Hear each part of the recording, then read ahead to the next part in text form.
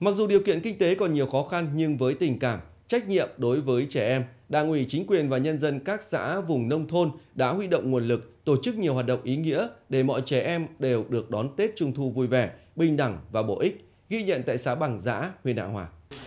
Không quản ngại mưa gió, những ngày này, bà con nhân dân khu 3, xã Bằng Giã lại cùng nhau làm những con linh vật, gói ghém từng xuất quà để trao tặng cho trẻ em tại chương trình đêm hội trăng rằm.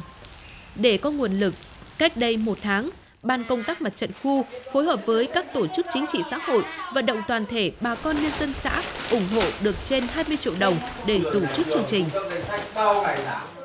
Như bác Hồn đã nói vì lợi ích người năm trồng cây vì trăm lợi ích trăm năm trồng người. Do vậy mà chúng tôi là rất quan tâm tới thế hệ trẻ. Do vậy mà ờ, công tác chuẩn bị và công tác làm rất nhanh chóng. Ờ, làm được cái Vâng, như thế này là có một ý nghĩa rất lớn để giáo dục các cháu là có cái ý thức về tình làng nghĩa xóm giáo dục cho các cháu sau này trong ngoan hào giỏi là do vậy mà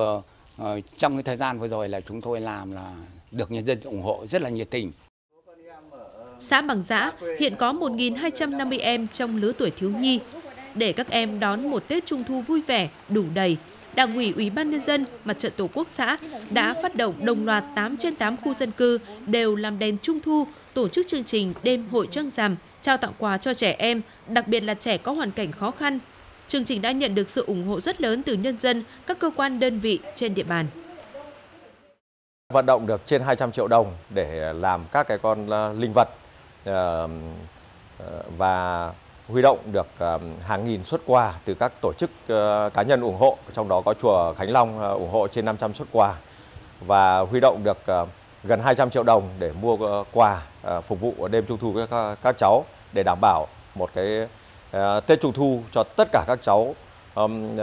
thiếu niên nhi đồng trên địa bàn xã Bằng Giã có một cái Tết Trung thu vui vẻ, đầm ấm, hết sức ý nghĩa. Dưới ánh trăng tròn của ngày rằm tháng 8,